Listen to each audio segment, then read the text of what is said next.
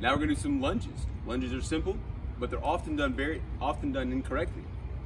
When you lunge, you take a big step out and you're dropping your level straight down from here, touching your knee to the ground or almost. Oh my goodness. And then driving back up to your starting position. All right? You wanna make sure that your front knee does not cover your toes. You're not driving forward. When you take that big step, you're dropping down, tapping your knee, you're getting close, and pushing back up. If you're gonna return to your starting position, push off your heel to drive back up. If you're walking forward, feet together, take your step. Always keeping your upper body tall and staying smooth all the way.